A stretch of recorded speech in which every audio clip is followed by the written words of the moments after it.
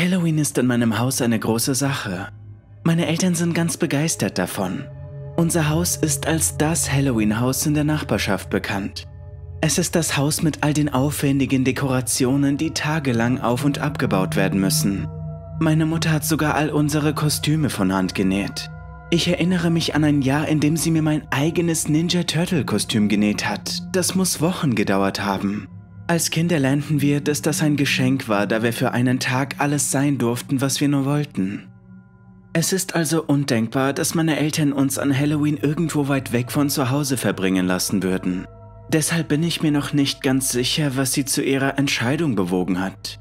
Meine Eltern leugnen es bis heute, aber ich glaube, sie hatten einige Probleme in ihrer Ehe und sie wollten meinen Bruder Tommy und mich wegschicken, während sie es ausdiskutierten. Ich weiß es nicht, aber es spielt auch keine Rolle. Der Punkt ist, dass meine Eltern am Freitag, den 30. Oktober 1998, einige Taschen für meinen Bruder und mich gepackt haben, komplett mit unseren handgemachten Kostümen und uns in ein Halloween-Camp geschickt haben. Dies war ziemlich seltsam, da Ferienlager eigentlich nur im Sommer stattfanden. Welches Kind, das bei klarem Verstand ist, geht Ende Oktober zelten? Selbst wenn man nicht in einem klärend kalten Klima lebt, muss man an sowas wie die Schule denken. Das Camp war eine neue Sache, die etwa drei Stunden von meiner Heimatstadt entfernt lag. Es versprach ein unterhaltsames Halloween-Programm für die Kinder und ein ruhiges Wochenende für die Eltern. Mein Bruder und ich waren wirklich sehr aufgeregt, dorthin zu gehen. Ich weiß, ich weiß, schon damals waren wir beide ziemliche Freaks, wenn es um Halloween ging. Aber es klang für uns super cool. Ein ganzes Wochenende, das Halloween gewidmet war, ohne unter den wachsamen Augen unserer überfürsorglichen, wenn auch zugegebenermaßen morbiden Eltern zu stehen. An jenem Freitag holten uns meine Eltern also früh von der Schule ab, kurz vor dem Mittagessen, und wir machten uns auf die lange Fahrt in die südliche Hälfte des Staates. Tommy und ich unterhielten uns die ganze Zeit aufgeregt über unser Auswärtswochenende. Mama und Papa besorgten uns sogar etwas zu essen bei McDonald's, was sie niemals taten. Wir hatten eine wirklich tolle Zeit. Tommy wurde erst nervös, als Mama und Papa auf dem Campingplatz vorfuhren. Mama, was ist, wenn wir euch wegen etwas anrufen müssen? Ich konnte die Sorge in seiner Stimme hören. Was er wirklich fragen wollte war, was, wenn er anrufen wollte, weil er Heimweh hatte? Würden sie uns holen, wenn er beschließen würde, dass er nicht bleiben wollte? Tommy war bei solchen Dingen wie ein Baby, obwohl er schon acht Jahre alt war. Er hasste es, von zu Hause wegzubleiben.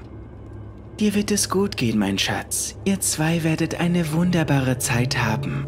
Und wenn du irgendwas brauchst, egal was, dann wird dein Bruder da sein, um mit dir darüber zu reden. Ich drückte Tommy die Hand, um ihn zu beruhigen. Nicht, weil ich der gutherzige ältere Bruder bin, wohlbemerkt, sondern weil ich nicht wollte, dass er weint und jammert und mir das hier ruiniert. Sobald wir die Tore des Lagers gesehen haben, war meine Aufregung in die Höhe geschossen. Das Tor zum Lager bestand aus altem Holz, das für Halloween schwarz gestrichen und mit Skeletten daran befestigt war. Auf dem Schild stand in roten, tropfenden Buchstaben Willkommen im Halloween-Lager. Ein paar Fledermäuse und Spinnen hingen unten am Schild. Ich lächelte über den Anblick. Mein Bruder zitterte ein wenig. Meine Eltern luden unsere Taschen aus und brachten uns ins Lager. Es wurde ein kleiner Tisch aufgestellt, auf dem ordentlich Anmeldung stand. Dort saßen zwei Lagerbetreuer in schwarzen Hemden mit dem Aufdruck Halloween Camp in roter Farbe. Willkommen im Camp Halloween, wo der Geist von Halloween niemals zur Ruhe kommt. Die Lagerbetreuerin, die uns begrüßte, war ein schönes, großes und brünettes Mädchen. Sie kann nicht älter als 19 gewesen sein.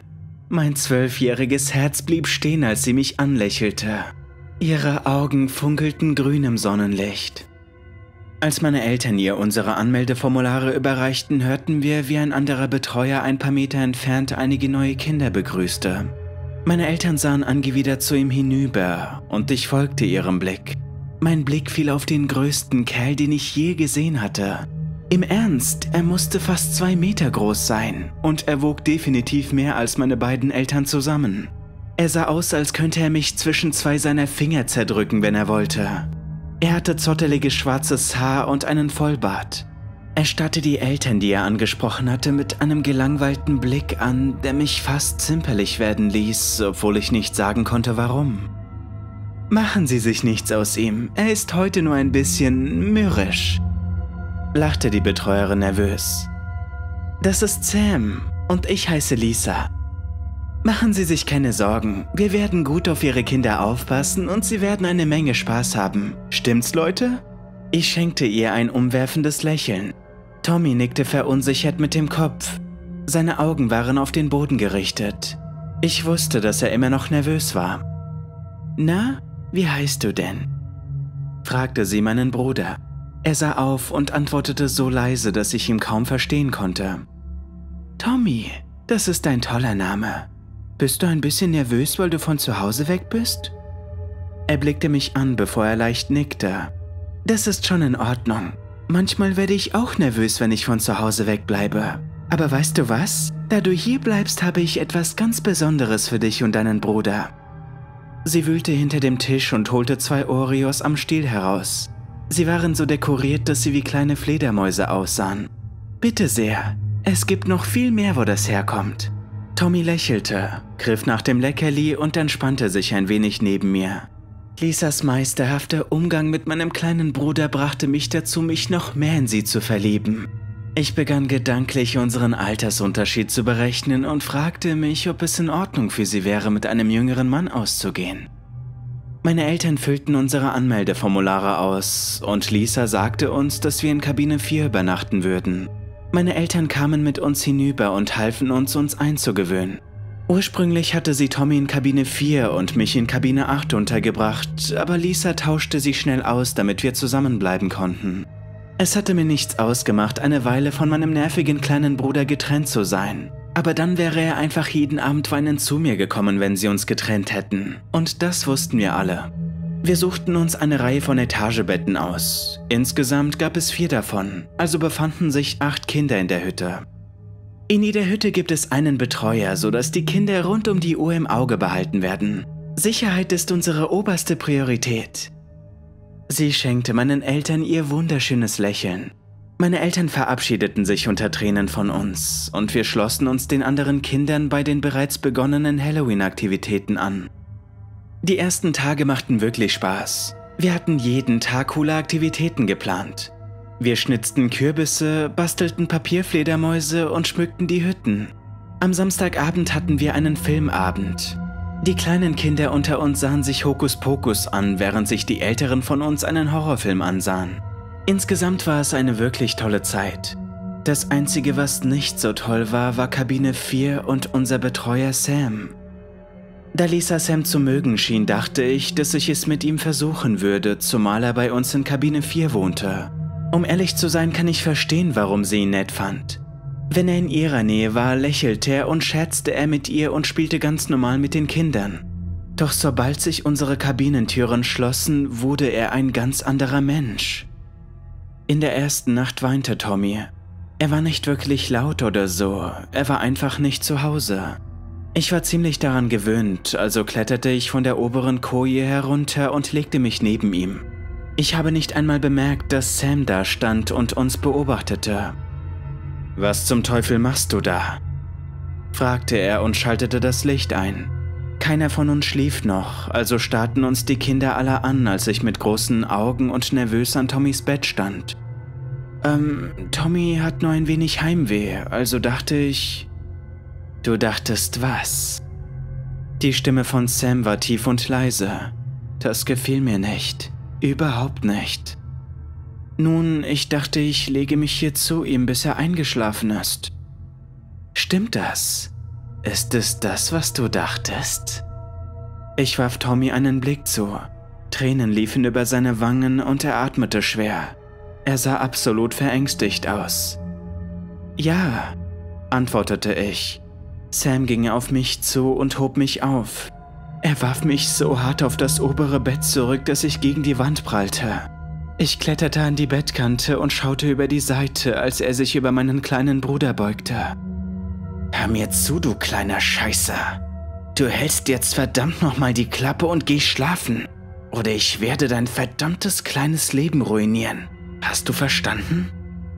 Tommy nickte. Ich bemerkte, dass er die Decke fest an seinen Körper drückte und seine Hände zitterten. Ich wollte hinuntergehen und ihn trösten, mich gegen Sam erheben, aber ich hatte zu viel Angst. Ich war auf meinem Platz eingefroren. Sam stand wieder auf und schnipste die Lichter aus. Und jetzt geht alle verdammt nochmal schlafen. Bis zum Morgen bewegte sich kein einziger Mensch. Sams Haltung wurde in den nächsten Tagen immer schlimmer. Jedes Mal, wenn wir in der Kabine waren, schrie er uns an. Er warf Dinge gegen die Wände und beschimpfte uns. Er sagte Dinge, die so schrecklich waren, dass ich sie hier nicht wiederholen werde. Am Samstagabend sahen wir uns einen Gruselfilm an. Ich erinnere mich, es war Freitag der 13. und ich hatte einen Platz neben Lisa ergattert. Es war wie ein Traum, den ganzen Film über neben ihr zu sitzen. Ich tat so, als hätte ich keine Angst, obwohl ich während der ganzen Sache eigentlich ziemlich erschrocken war. Ich bin sicher, sie konnte das erkennen, aber sie sagte mir trotzdem, dass sie sehr beeindruckt war, wie mutig ich war. Ich befand mich immer noch im siebten Himmel, als ich zur Kabine zurückging. Ich griff nach der Tür, als ich fühlte, wie eine Hand meinen Hemdkragen packte und mich auf die vom Lager abgewandte Seite der Hütte zog. Was zum Teufel glaubst du, was du da tust, du kleiner Scheißer? Es war Sam. Er hatte mich an die Seite der Hütte gepresst, lehnte sich über mich und atmete mir ins Ohr. N nichts, ich hab nichts gemacht. Netter Versuch, du kleiner Mistkerl. Glaubst du, du kommst mit Lisa klar? Denkst du, du wirst mit ihr im Bett landen? Willst du was von ihr haben, ja? Ich fühlte, wie das ganze Blut aus meinem Gesicht floss. Eine Hälfte von mir war verängstigt und angewidert. Ich mochte das nicht, ich mochte das nicht, was passierte. Die andere Hälfte von mir war in blinder Wut über die Tatsache, wie er über sie sprach. Hör mir zu, du hältst dich verdammt nochmal von ihr fern. Sie gehört zu mir. Sie würde nie eine kleine Jungfrau wie dich anrühren. Er hielt mich noch ein paar Momente lang fest, völlig stumm. Das war wahrscheinlich der schrecklichste Teil, an die Wand genagelt zu sein und nur darauf zu warten, was er als nächstes tun würde. Doch alles, was er tat, war mich freizulassen. Er trat zurück und ich rannte verängstigt in die Kabine. Ich kletterte ins Bett und drückte mich fest gegen die Wand, wobei ich mich so klein wie möglich machte. Sam kam 30 Minuten später herein und schaltete das Licht aus. Ich bekam in dieser Nacht keinen Schlaf. Der nächste Tag war Halloween. Ich war den ganzen Tag nervös, schaute mir über die Schulter und wartete darauf, dass Sam aus dem Nichts auftauchte und mich verprügelte. Ich blieb in Tommys Nähe, weil ich mir auch Sorgen um ihn machte.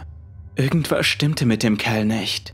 Und wenn ich klug gewesen wäre, hätte ich es einem der anderen Betreuer gesagt. Aber ich hatte zu viel Angst, dass sie es ihm sagen würden und er mir wehtun würde. Oder schlimmer. Vielleicht ist es das Beste, wenn ich es niemandem sage. Vielleicht hätte es sowieso nicht geholfen. Die anderen Betreuer schienen ihn für harmlos zu halten. Immerhin war er dort angestellt worden. Und obwohl man ihn in der Kabine nach Einbruch der Dunkelheit sicher gehört haben muss, hat niemand ein Wort gesagt. Kein einziges. Jedenfalls habe ich dafür gesorgt, dass sowohl Tommy als auch ich an diesem Tag weit von Lisa entfernt blieben. Das war auch gut so, denn Sam blieb an ihrer Seite kleben. Sie lachten und scherzten miteinander, obwohl ich ein paar Mal hätte schwören können, dass sie sich irgendwie unwohl fühlte. Ich schüttelte es ab und beschloss, dass ich nur das sah, was ich sehen wollte. Ich wollte mich nicht einmischen. Der Tag ging ganz normal weiter. Wir spielten einige Halloween-Spiele und bastelten irgendwelche Dinge, all die üblichen Sachen. Die Nacht war jedoch anders. An diesem Abend war der sogenannte Halloween-Tanz. Offensichtlich befanden wir uns in einem Lager mitten im Wald, also konnten wir Kinder nicht zum Süßes oder Saures gehen. Stattdessen verkleideten wir uns alle und gingen zu einer Maskenparty. Es gäbe Punsch und jeder von uns würde auch eine Tüte Süßigkeiten bekommen. Es gab sogar Gerüchte, dass alle Kinder einen Karamellapfel bekommen würden. Gegen 8 Uhr an diesem Abend kehrten wir alle in unsere Hütten zurück, um unsere Kostüme anzuziehen. Die Party sollte von 9 bis Mitternacht dauern. Wir alle waren sehr aufgeregt. Ich half Tommy beim Anziehen seines Kostüms. Er wollte Superman sein. Ich fand das ziemlich lahm, denn sollte man für Halloween nicht etwas Unheimliches sein? Aber er war mein kleiner Bruder, also half ich ihm trotzdem, sich vorzubereiten. Mama hatte etwas Haargel eingepackt, damit ich ihm bei der Spurglocke helfen konnte. Er war so aufgeregt, dass er zappelte und ich musste ihm mehr als einmal sagen, er solle stillhalten. An jenem Halloween war ich Michael Myers. Er war der coolste Filmschurke, den ich bis dahin gesehen hatte. Meine Mutter machte den Overall und ich versah ihn mit falschen Blutflecken. Sie hatte mir die Maske gekauft und zusammen fertigten wir das falsche Fleischermesser an. Ich war gerade dabei, mir meine Maske zu schnappen, als ich hörte, wie Sam zur Kabinentür ging. Ein furchtbares Gefühl schlich sich in meinen Bauch. Es ist dieses Gefühl, das man hat, wenn man weiß, dass man Mist gebaut hat und darauf wartet, dass seine Eltern es erfahren, wenn sie nach Hause kommen. Diese schreckliche, sinkende Hoffnungslosigkeit. Ich weiß nicht, warum ich es bekam. Vielleicht war es Instinkt oder eine Art sechster Sinn, wer weiß. Aber ich wusste sofort, dass etwas nicht stimmte. Tommy, versteck dich unter dem Bett. Tommy sah verwirrt zu mir auf. Die anderen Kinder bemerkten nicht, dass ich ihn auf den Boden schleppte, weil sie zu sehr mit der Vorbereitung ihrer Kostüme beschäftigt waren. Das ist kein Witz, Tommy. Versteck dich unter dem Bett und komm nicht heraus, bis ich sage, dass es okay ist. Versprochen? Tommy kroch unter das Bett und sah mich verwirrt an. Dann nickte er und versprach mir nicht herauszukommen, bis ich es sagen würde. Ich richtete mich gerade auf, als Sam die Tür öffnete.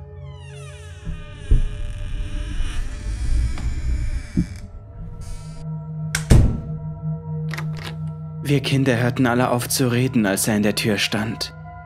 Die Art, wie er uns ansah, ich weiß nicht. Es war, als wäre er nicht einmal mehr ein Mensch. Als wäre ihm die ganze Menschlichkeit, die er gehabt haben mag, durch seine Augen ausgesaugt worden, so dass sie glasig und puppenartig blieben. Ich fragte mich an dieser Stelle, ob er unter Einfluss von Drogen war. Er schloss die Tür und starrte uns an. Wir starrten zurück. Niemand bewegte sich. Er bewegte sich auf ein Kind aus dem Bett neben meinem und Tommys Bett zu. Hey Blödmann, komm hier rüber. Ich will mit dir reden. Ich wünschte, ich könnte mich an den Namen des Jungen erinnern. Später war es überall in den Nachrichten. Der Junge ging langsam und zögernd hinüber, bis er neben dem aufragenden Psycho stand. Er zog seinen Griff fest, um ihn am Weggehen zu hindern. Freust du dich schon auf den Tanz? Ähm, ja. Wirst du mit ein paar der hübschen Mädchen tanzen? Ja, ich denke schon.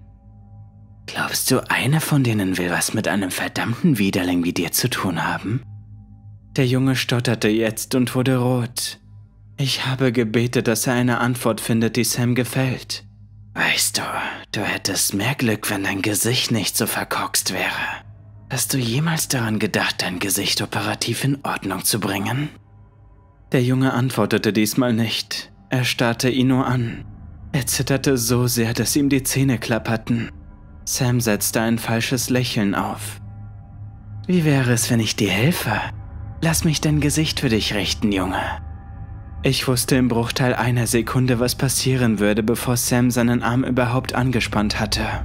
Was eigentlich egal ist, schätze ich. Ich konnte sowieso nichts tun. Sam packte den Arm des Jungen und schlug ihn mit dem Gesicht gegen die Wand. Er schlug ihn so fest, dass ich das Knirschen seiner Knochen hörte. Das Kind kam nicht einmal zum Schreien. Er fiel auf den Boden. Seine Brille schlug ihn so weit ins Gesicht, dass sie wahrscheinlich in seinem Knochen steckte. Sein ganzes Gesicht war eine ruinierte Masse aus Gulasch und er atmete nicht mehr. Eines der Kinder auf der anderen Seite der Kabine schrie. Ich hätte mich ihm wahrscheinlich angeschlossen, wenn ich nur hätte atmen können. Haltet alle das Maul! schrie Sam mit seiner Stimme, die so laut war, dass man ihn den ganzen Weg durchs Lager gehört haben musste. Aber ich machte mir keine Illusionen, dass jemand kommen würde, um uns zu helfen. Er packte den schreienden Jungen und fing an, ihn zu würgen, während er ihn die ganze Zeit anschrie. Ich starrte auf den Abstand, der Sam von der Tür trennte und fragte mich dann, ob ich vielleicht, nur vielleicht, wenn ich schnell genug rennen würde. Aber mein Bruder, ich stöhnte selig und war immer noch nicht in der Lage, einen Laut von mir zu geben. Tommy würde sterben, wenn ich ihn hier alleine lassen würde. Dessen war ich mir sicher. Manchmal ärgerte mich der kleine Knirps. Sicher. Aber er war mein kleiner Bruder und ich liebte ihn. Ich wollte ihn nicht dort lassen, damit er ermordet wird. Psst, Run. Ey, Run. Ich sah, wie Tommy unter dem Bett hervorschaute und mein Herz blieb stehen. Tommy, was habe ich dir gesagt? Geh wieder da runter. Sam hat es nicht gemerkt. Seine Hände waren immer noch um das Kind gewickelt, dessen Gesicht blau geworden war und dessen Gegenankämpfen schwächer wurde. Als ich so dastand und mich fragte, ob ich es riskieren sollte, stürzte sich der schreiende Mitbewohner des Kindes auf die Tür. Er schaffte nicht einmal vier Schritte. Sams unbesetzte Hand hob sich und griff ihm an den Schädel. Er drückte seinen Daumen in das linke Auge des Kindes, und während er schrie, strömte Blut heraus. Ich ergriff die Gelegenheit. Ich rutschte unter das Bett. Mein Herz rutschte mir ebenfalls in die Hose. Ich konnte nur zu Gott beten, dass er mich nicht gesehen hatte. Tommy war so weit unter das Bett gekrochen, dass er gegen die Wand gedrückt wurde. Ich konnte sehen, warum. An der Wand fehlte ein Stück und hinterließ ein kleines Loch. Ich wusste, dass Tommy da durchpassen würde, aber ich war mir nicht so sicher, ob ich es konnte. Psst, Tommy, krabbel da raus und warte auf mich. Er nickte und schlich hindurch. Er rutschte ohne einen einzigen Kratzer heraus. Ich wünschte, ich wäre immer noch so klein wie er. Ich begann mich durch das Loch zu ziehen. Mein Herz schlug so stark, dass ich mich nur noch wehren und schreien wollte. Aber ich wusste, dass ich still sein und langsam gehen musste. Es bedurfte einiger Versuche und ich blieb einige Male an ein paar Splittern hängen. Aber schließlich waren wir beide draußen. Ich griff nach Tommys Hand und wir begannen zu rennen. Ich wusste, dass sich das Hauptbüro in der Nähe des Lagereingangs befand. Und drinnen gab es ein Telefon. Wenn wir Glück hätten, wäre jemand da drin, der uns helfen könnte. Das Lager sah in diesem Moment menschenleer aus. Alle Kinder waren in ihren Hütten und bereiteten sich vor. Die anderen Betreuer waren nirgends zu sehen. Wir hörten, wie die Tür zur Hütte 4 aufschlug. Wo zum Teufel seid ihr hin, ihr kleinen Scheißer? Sam brüllte. Es dauerte nicht lange, bis er uns erblickte, denn wir waren noch nicht sehr weit gekommen. Er begann uns nachzulaufen. Wir hatten Glück, denn in diesem Moment verließ Lisa das Hauptbüro. Sie joggte auf uns zu und wir rannten hinter ihr her, um Schutz zu suchen. Die Erleichterung, die ich empfand, war schwindelerregend. Sam mochte sie sehr, also würde er ihr nicht wehtun und so konnte sie uns beschützen. Alles würde gut werden. Sam, was zum Teufel? Was machst du da? Ihr Gesicht wurde blass, als sie auf seine linke Hand hinunterblickte. Ich folgte ihrem Blick und sah, was sie sah. Sam schien nicht zu begreifen, was sie gesehen hatte. In Lisas Augen konnte ich erkennen, dass sie es bereits wusste. Oder zumindest erriet sie es. Das Blut hatte Sam verraten. Ich weiß nicht, was zum Teufel mit dir los ist, aber das hört jetzt auf. Ich rufe die Polizei. Lisa begann sich zurückzuziehen, um uns hinter sich abzuschirmen. Wir waren nicht weit vom Hauptbüro entfernt. Ich war sicher, dass wir es schaffen würden. Meine Hoffnungen wurden zunichte gemacht, als Sam sich vorwärts bewegte und sie am Hals packte. Er hob sie an ihrer Kehle hoch und zischte ihr ins Gesicht. Hör mal zu, du prüde Kleine. Ich werde dich verdammt nochmal ausnehmen, hörst du mich? Ich mach dich so fertig, dass dich deine eigene Familie nicht mehr wiedererkennt. Ich hätte sie dort zurücklassen, mir Tommy schnappen und zum Hauptbüro rennen sollen. Ich hätte Lisa sich selbst überlassen sollen. Ich meine, ich war erst zwölf. Aber ich war ein dummer, mutiger Zwölfjähriger. Zumindest in diesem Moment. Und ertappte mich dabei, wie ich das Dümmste tat, was man in dieser Situation tun konnte. Tommy, lauf! Ich sah meinen Bruder an und er sah, dass ich es ernst meinte. Er lief in Richtung Wald und ich rannte auf Sam zu. Ich trat ihm so fest am Schienbein, wie ich konnte, mit der Absicht, Lisa zu befreien. Es war wie gegen einen verdammten Baumstamm zu treten. Im Ernst, er hat nicht einmal gezuckt. Er sah nur zu mir hinunter und ich konnte sehen, dass ich ihn nur verärgert hatte.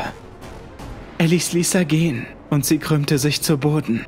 Ich hörte, wie sie nach Luft schnappte, also wusste ich wenigstens, dass sie am Leben war. Er riss mich zu sich und packte mich am Kiefer. Seine Hand war so groß, dass mein Kiefer genau in seine Handfläche passte. Er griff die untere Hälfte meines Gesichts und mir wurde klar, dass er sie brechen wollte.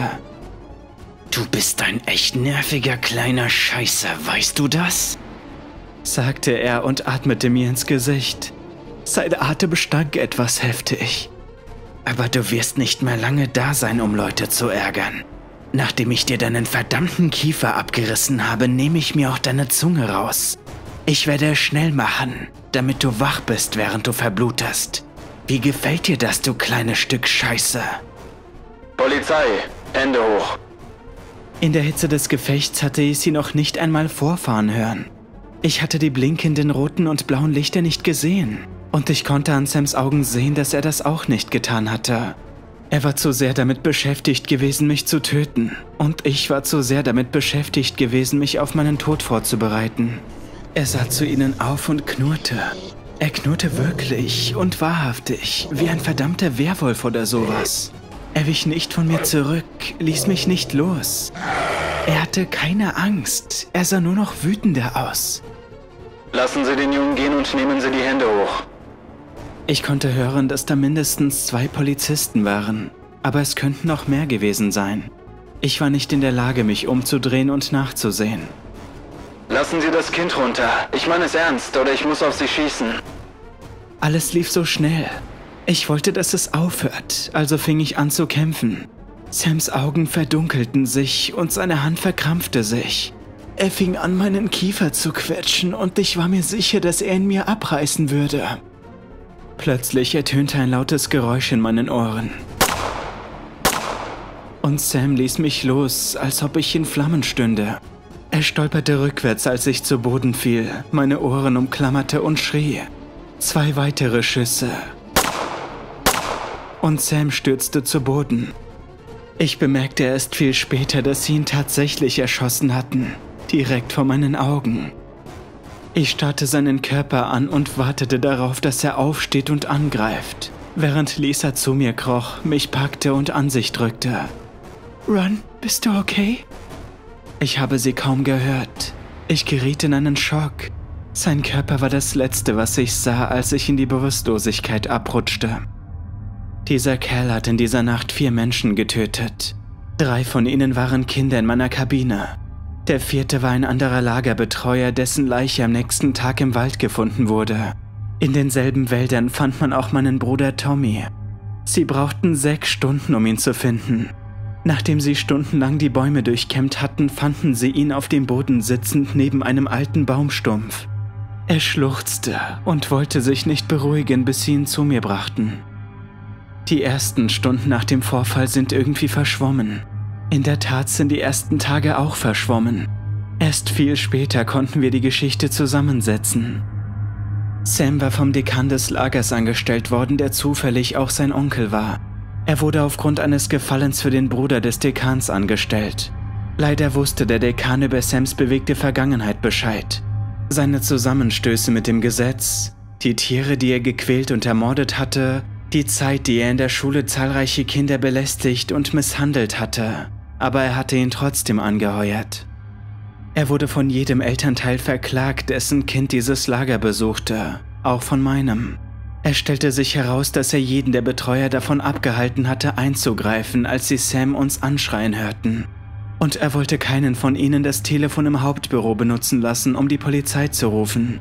Der einzige Grund, warum die Polizei auftauchte, war, dass ein anderer Berater sein persönliches Mobiltelefon benutzte, um die Polizei zu rufen. Wenn er das nicht getan hätte, wäre ich jetzt tot. Durch seine Fahrlässigkeit landete er im Gefängnis. Ich weiß nicht, ob er jemals wieder rauskam. Die Polizisten wurden auch befragt. Einige Leute waren entsetzt, dass sie auf Sam geschossen hatten, während er mich im Grunde genommen als Geisel hielt. Die Polizisten behaupteten, dass sie präzise einen Schuss auf die Brust abfeuerten, weit über meinem Kopf. Ich persönlich bin froh, dass sie auf ihn geschossen haben. Dieser Mistkerl hatte es nicht verdient zu leben. Ich weiß nicht, was mit den anderen Kindern in der Hütte passiert ist oder was mit Lisa passiert ist. Ich würde wirklich gerne wissen, ob es ihr gut geht, wie sie sich entwickelt hat, aber ich kann mich nicht dazu durchdringen, nach ihr zu suchen. Ich habe zu viel Angst davor, dass es mir nicht gefällt, was ich finde. Was Tommy und mich betrifft, nun, es könnte schlimmer sein. Der Vorfall hat uns beide wahrscheinlich etwas weniger vertrauensvoll gegenüber den Menschen gemacht, etwas nervöser. Manchmal habe ich immer noch Albträume davon und ich bin mir sicher, er auch. Aber meine Eltern haben uns bei der Bewältigung des äh, Traumas gut geholfen. Wir gingen zu einem Therapeuten Unsere Eltern halfen uns, die guten Seiten von Halloween wieder zu erlangen, die wir immer gemocht hatten. Tommy und ich feiern es immer noch jedes Jahr, obwohl ich mich von den Slasher-Filmen fernhalte, wenn der Oktober kommt. Wir haben es beide geschafft. Wir sind beide in Ordnung. Nun, bis auf eine Sache. Hin und wieder sehe ich jemanden. Jemand, der groß und fett ist und einen kratzigen Bart hat. Einfach so unterwegs, einkaufen oder spazieren gehen oder die U-Bahn nehmen. Und obwohl ich gesehen habe, wie Sam gestorben ist und weiß, dass er sich unter der Erde befindet, oder zumindest das, was von ihm übrig geblieben ist, schaue ich mir immer wieder über die Schulter, weil ich zu große Angst habe. Denn wenn jemand von den Toten auferstehen könnte, dann wäre er das.